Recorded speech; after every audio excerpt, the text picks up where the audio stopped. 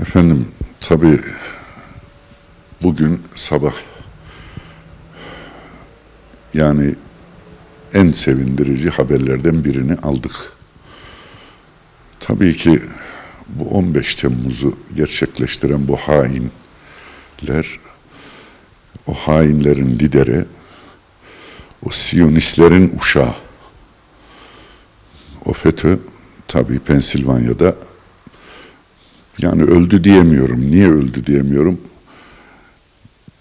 İnsan ölür, hayvan ölür.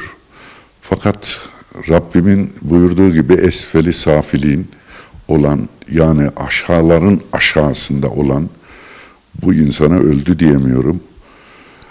Tabii nedamet getirse, pişmanlık duysa, gerçekten İslam'a hizmet etseydi bunları söylemezdik.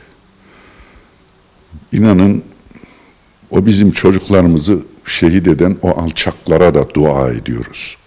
Niye dua ediyoruz? Rabbim inşallah onlara da hidayet nasip eder de bu vatana millete faydalı insanlar olurlar diye hep dua ediyoruz. Tabii ki Rabbim hidayet nasip etmezse biz Rabbimin kahhar sıfatına havale ediyoruz. O her şeyin iyisini bilir. Fakat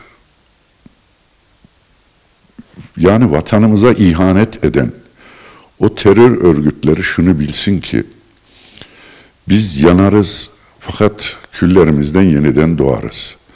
Yani bu vatanın değil öyle bir parçasını, bir şehrini, beldesini, ilçesini vallahi bir çakıl taşını vermeyiz.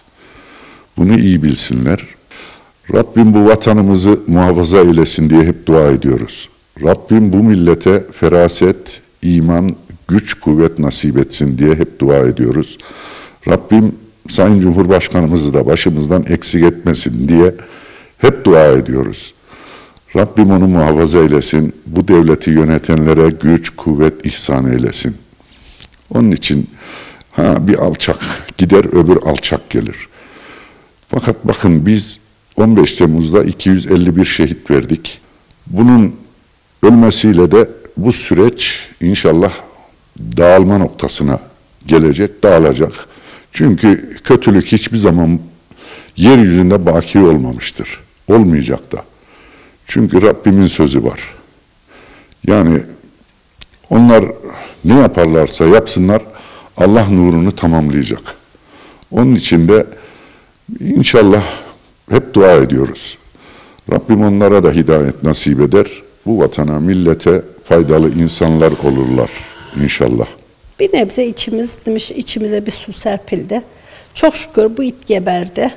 İnşallah darısı geriden gelen buna hocam diyerek peşinde bir koşup gidiyorlar ya. Biz onlara ne vaat ediyoruz biliyor musun? Şimdi bizim çocuklarımız şehit oldu. İnşallah biz de onlara toprağın altındaki cehennemi vaat ediyoruz. Geberip gittiklerinde inşallah cehennem coşmuştur şimdi hocaları geliyor diye.